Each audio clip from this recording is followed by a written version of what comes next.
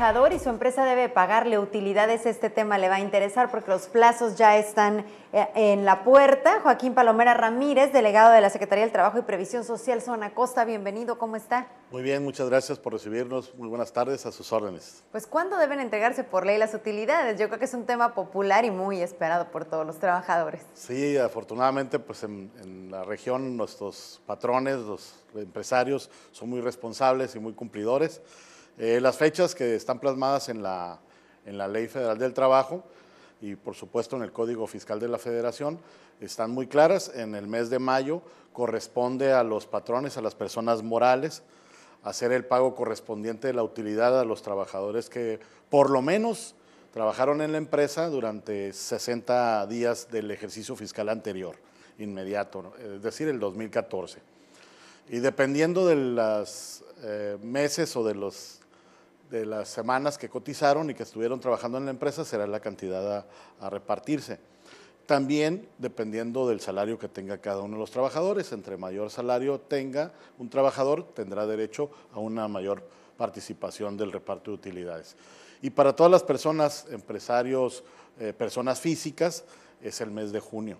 Es decir, todavía están a, a, muy buen tiempo de ir haciendo el apartado correspondiente, ir haciendo las revisiones ahí con sus contadores en la parte administrativa de sus empresas para cumplir en tiempo y forma con sus trabajadores de este derecho que está plasmado en la ley.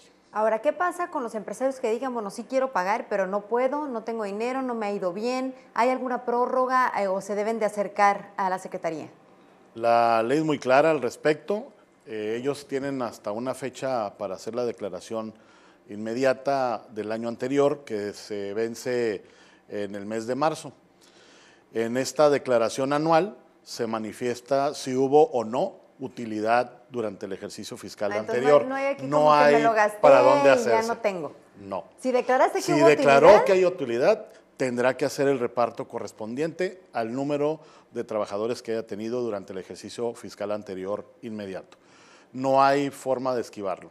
Si algún trabajador no recibe ese beneficio, ese derecho que tiene, y tiene alguna duda o cree que no es lo que le entregaron lo que le correspondía, eh, tiene la libertad y el derecho de que le compruebe o le entregue el patrón una copia de la declaración ante el SAT.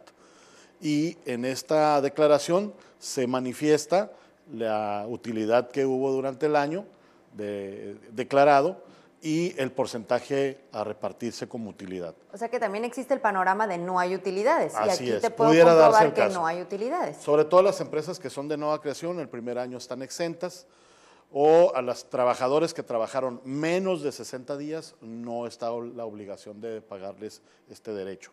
Solamente aquellos que hayan trabajado más de 60 días eh, en el ejercicio fiscal que se está declarando. Pues eh, es muy claro en ese sentido. Y para los que son patrones, pa- personas físicas con actividad empresarial, en el mes de junio, el próximo mes, tendrán la obligación de hacer lo propio. Ahora, eh, si alguien no la recibe, se vence el plazo, que asumo que en el caso de, dijimos, personas morales es mayo, ¿no? Entonces, el último es. día del mayo llega el plazo, ese trabajador no recibió sus utilidades, ¿a dónde tiene que acudir? Puede acudir con nosotros a la Procuraduría de la Defensa del Trabajador. Eh, nuestras oficinas están ah, abiertas de lunes a viernes, de 8 de la mañana a 4 de la tarde. Tenemos cuatro procuradores aquí en la ciudad de Tijuana para dar la asistencia jurídica correspondiente. Tenemos un procurador en la ciudad de Tecate y tenemos una procuradora en Rosarito. Es decir, tenemos a seis procuradores en la zona costa que estarán listos para atender a todos los trabajadores que acudan con nosotros en busca de una asesoría o de aclarar alguna duda al respecto de este tema. Me decía eh, previo a entrar al aire que los, que los patrones en general, o por lo menos en la zona costa, son bastante cumplidos. o Así sea, en es, realidad no- los números no son en, de, en gran medida quienes no pagan. Correcto. Eh, pues poner- para poner un ejemplo, el año pasado, en 2014, eh, recibimos a 117 trabajadores que tenían dudas, que querían aclarar alguna situación respecto al reparto de utilidades. De estos 117, solamente giramos 27 citatorios a 27 empresas. De estas 27 empresas, 17 cumplieron en tiempo y forma y solamente 10 se fueron se desfasaron en tiempo, pero hicieron el pago correspondiente, solamente fuera de tiempo. Es decir, eh, por la, magnitud de las empresas que están instaladas en la región, en la zona costa, y el número de trabajadores eh, contratados en la zona costa eh, fue, es mínimo, sinceramente es muy poco. tenemos un empresariado muy responsable, hay una muy buena comunicación con todos los, los, organismos empresariales y son responsables, que es la parte importante. Si no, tendrían este, una serie de demandas ante la Junta de Conciliación por este tema en lo particular. Ahora, si usted nos escucha y no está de acuerdo y piensa que en el caso de su empresa no ha sido así, este es un buen momento para comunicarse con nosotros aquí al estudio y le podemos eh, preguntar al delegado sobre estos casos en particular o darle seguimiento a la denuncia al 973 4826 973-4826. Entonces, la recomendación a los trabajadores aquí es si hay un, eh, trabajo efectivo, es decir, si podrían lograr que, que, se llegue a un final feliz, vamos a decirlo así, o se concilie con el... Nada más es de acudir a Plaza Patria, donde estamos instalados, en el tercer nivel, en lo que es la Secretaría del Trabajo, eh, en la, particularmente en la Procuraduría de la Defensa del Trabajador.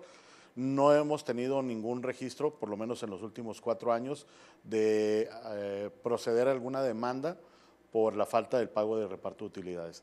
Y eso es algo que también hay que comentarlo.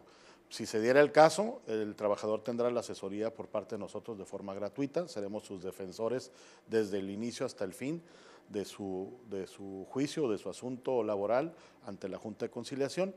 Y si llegara a darse el caso, pues la propia Junta aplicará las sanciones correspondientes a la empresa que incumpla. Pues le agradecemos muchísimo esta muy valiosa información, sobre todo ya con el tiempo a punto de concluir. Mayo para personas morales, junio para personas físicas. Joaquín Palomera Ramírez, delegado de la Secretaría del Trabajo y Previsión Social Zona Costa, muchísimas Al gracias. Muchísimas gracias. Gracias a Radio por darnos la oportunidad de comunicar con, con nuestros ciudadanos.